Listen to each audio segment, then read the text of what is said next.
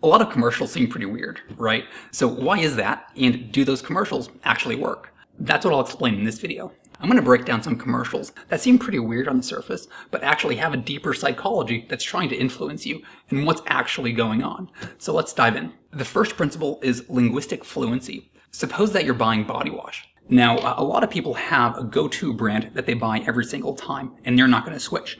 Yet, a lot of people don't have a strong brand attachment, and they just kind of choose whatever option feels right at the time. Now, that gut reaction might seem unimportant, but that choice is occurring for millions of people across the globe every single day. So those crucial seconds determine a very large source of revenue for businesses. So brands naturally want to become that final winner of that arbitrary choice. And so how do they do that? Well, for one, commercials, uh, they increase the activation of those brands in people's minds. And I'll explain the exact mechanism later. But for now, uh, one tactic to accomplish that involves linguistic repetitions, essentially just repeating the same information. With a lazy approach, that strategy becomes very obvious. Head on, apply directly to the forehead. Head on, apply direct. You get the idea. But with some creativity, those repetitions can fly under your radar. So in this commercial for Captain Morgan, everybody is addressing a captain by saying, well, Captain. Captain. Captain. Captain. Captain. Captain. Captain. Captain. Captain. Captain. Captain. In a 30 second time slot, Captain Morgan manages to say Captain, their brand, a total of 31 times. And you see similar strategies with other mass market goods like Old Spice. Old. Spice? Old. Spice? Old. Spice! Literally just screaming the brand name. So here's what's happening. Both commercials are increasing the activation for those linguistic names, triggering a concept known as fluency. So when you're making that final gut reaction choice, the brand name with the most activation will pop into your mind more easily. That fluency and that ease with which it comes to mind, it makes it seem as though something feels right about that brand. And you conclude that it must be that you want to buy that brand. And so that's the key mechanism behind fluency. Now, just a point of commentary before moving on. Those repetitions involve two types of fluency conceptual fluency and phonological fluency. Conceptual fluency involves the semantic concepts themselves.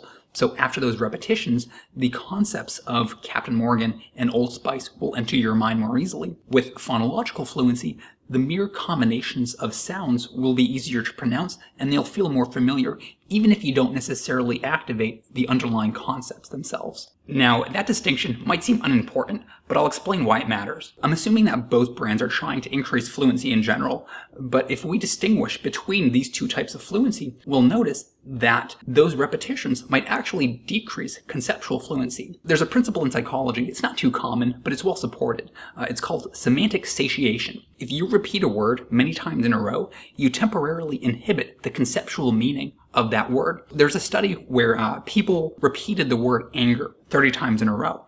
And afterward, they had trouble identifying angry faces.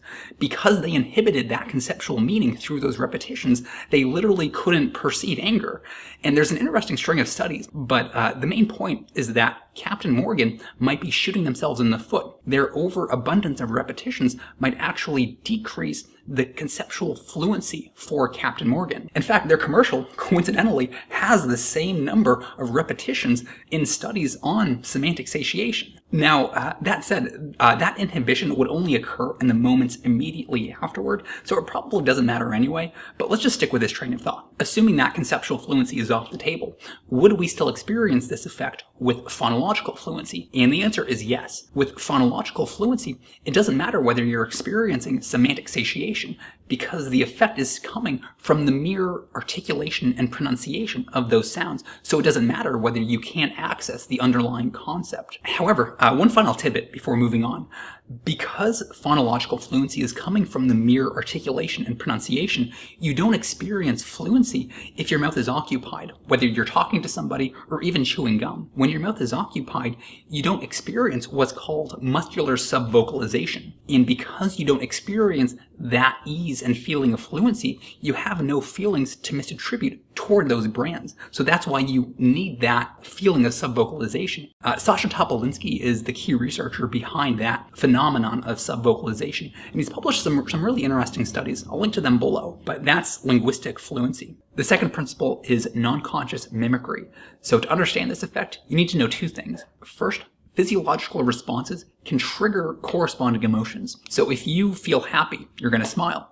However, the reverse is true. If you smile, that physiological response produces feelings of happiness. And that same effect also happens for uh, learned or cultural gestures as well, like head nodding. People tested headphones by nodding their head up and down or shaking their head side to side. And the people who nodded their head up and down showed stronger agreement to a news broadcast that was being played over the headphones. The second thing you need to know is the chameleon effect. So if you're talking to somebody, you automatically feel an urge to mimic their nonverbal behavior. So if they're leaning to the side, you feel an urge to lean to the side. And now we can combine those two principles. Uh, so if you're talking to somebody while nodding your head, that person will experience a non-conscious urge to nod their head.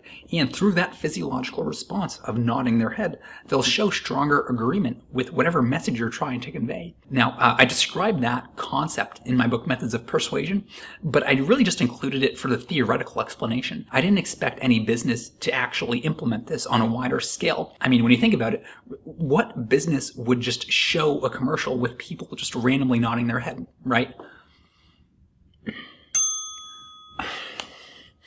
Okay, so uh, I'll give Xfinity the benefit of the doubt, and I'll assume that their this their commercial is purely coincidental and that there is no mischievous intent uh, behind their part. But literally, the, the whole commercial is filled with a family repeatedly nodding their head. Almost every scene just has the same exact motor movements. Can we just back up? Literally, this one scene has 11 people randomly nodding their head. Like, is that even dancing? Like, come on, really?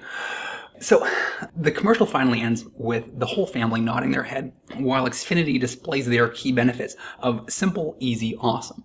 And at this point, if you're nodding your head because of that mimicry, you'll activate a mindset of agreement and you will perceive those benefits in the Xfinity product to be more favorable. Now, again, all of this is probably coincidental. You know, I wouldn't expect any mischievous intent behind this commercial, but if is, if this is the purpose and intent of this commercial, then I would say this is a prime example, no pun intended, of a business applying cognitive research in a manipulative and deceptive way, and I'm against these types of applications. Well, what applications would be acceptable or ethical? So let's enter the third principle, top-down attention. When you have an active goal, you experience what's called top-down attention. You can perceive stimuli that are related to that goal while blocking out stimuli that are unrelated to that goal. So if I show you a group of red X's and green O's, you can focus on those red X's while letting the green O's kind of fade into the background. And it's the same reason why, if you're busy counting basketball passes, you'll fail to see a giant gorilla walk through the middle of the screen. It's the same principle. Now, because of that principle, we can easily block out advertisements and commercials from entering our attention. So how are marketers trying to break through that top-down attention? Well, a lot of them try to do that by increasing the saliency of a message, by making it uh, louder, brighter, or anything else to make it stand out more. And that seems like the common sense approach, but it actually backfires. Let's say that you're trying to attract more attention to a banner advertisement by increasing the saturation of the color. When you do that, you're making it easier for people to classify that stimulus as an unrelated advertisement. So because they can, they can identify it as unrelated more easily, they can more easily block it from entering their attention. So paradoxically, by making a stimulus more noticeable, you can actually make it less noticeable. The clever marketers are the ones who, instead of increasing the saliency of a message, will transform their message so that it resembles the goals and expectations of people. So here's an example. Uh, one of my guilty pleasures that I don't usually tell people is that uh, sometimes I watch wrestling. I trust that you'll keep this between us, right? So what goal do people have during a commercial? Well, they're waiting for the show to come back, right? In a common segment for WWE, they usually have a wrestler named Elias who comes out and plays the guitar for people. And one time during a commercial break, I saw the beginning of that segment, and so naturally, I reoriented my attention back to the TV. And then I come to find that, wait, you know, this isn't WWE, this is a commercial for Snickers. They're just incorporating Elias into the commercial. And Snickers has a series of other commercials where they incorporate other wrestlers as well. With wrestling, people are actively monitoring for instances of wrestling. If a commercial has the appearance of wrestling, it's more likely to break through their top-down attention. Plus, these commercials are better from a viewer standpoint. A lot of the times, uh, commercials are a chore where we need to wait until marketers are done spewing their message at us. And so, with these commercials that inject the message into the show itself, they have a lot more relevance and they're a lot more entertaining. Now, this approach can become deceptive and go too far. Uh, if you're driving in the car listening to the radio, it's not too uncommon to hear an advertisement contain the sound of a horn. At the end of the day, everybody wants to be home for Jeopardy! While you're driving, the sound of a horn is part of your top-down attention. So whenever you hear that sound, you automatically orient your attention to find the source of where that sound is coming from. And lo and behold, the marketer just accomplished their goal by fixating your attention on that advertisement. A similar example, yet a little more acceptable, is this commercial from Amazon. They played this commercial during the end of Survivor, and during that final commercial break, uh, Survivor usually comes back with a preview for the next episode. So during that break, viewers are actively monitoring for the end of Survivor. And so this scene appears for the ending of Survivor, and suddenly you orient your attention back to the TV, but then you keep watching and you realize that wait, Alexa, show me comedies. this is just a commercial for Amazon Fire TV. And so in all of these examples, you had a goal uh, where you were looking for a red X. And right now, uh, marketers try to capture your attention by increasing the saturation of a green O, which not only doesn't work, but usually backfires because it's easier for you to block out. But we're starting to see a trend in marketing where marketers are starting to realize this and they're starting to instead break through your top down attention by resembling that red X. So that goal that you currently have. And you know, uh, I started this section with rosy expectations for this principle, uh, but after this whole explanation, I'm starting to realize this principle has a lot of room for deception, and so I'm starting to have second thoughts about it, but I guess we'll see where it goes. Anyway, last principle, triggers and spreading activation. So if you watched the Super Bowl in 2018, then you probably saw this commercial for Tide. Now, uh, I thought their strategy was pretty obvious, but after reading some of the commentary online, it seemed like a lot of people missed the key purpose and strategy behind this commercial. So Tide created this commercial in order to get the biggest bang for their buck from that absurdly expensive time slot in the Super Bowl. And here's how they did it. They start with some ambiguous scenes that are very stereotypical. Yeah, just your typical Super Bowl car ad. Right? And they leave you guessing as to what the commercial is actually advertising, which is another psychological hook, but that's beside the point. Eventually, they reveal that the commercial is advertising Tide It's a Tide ad. Because everybody is wearing clean clothes. What makes it a Tide ad? There are no stains. And at this point, they proceed to other stereotypes uh, for diamonds, uh, sodas, razors, and many other scenes that are very common and stereotypical in many commercials. Finally, by the end of the commercial, they end with this crucial message. So, does this make every Super Bowl ad a Tide ad? And that's where the cleverness comes into play. Throughout the commercial, Tide created a strategic network of associations. Now, I explained the concept of spreading activation in another video, but essentially, uh, Tide created a connection between their commercial and their brand and every other commercial during the Super Bowl. And because of those connections, every time that you were exposed or every time that you watched a commercial during the Super Bowl, that connection triggered spreading activation back to the original Tide commercial.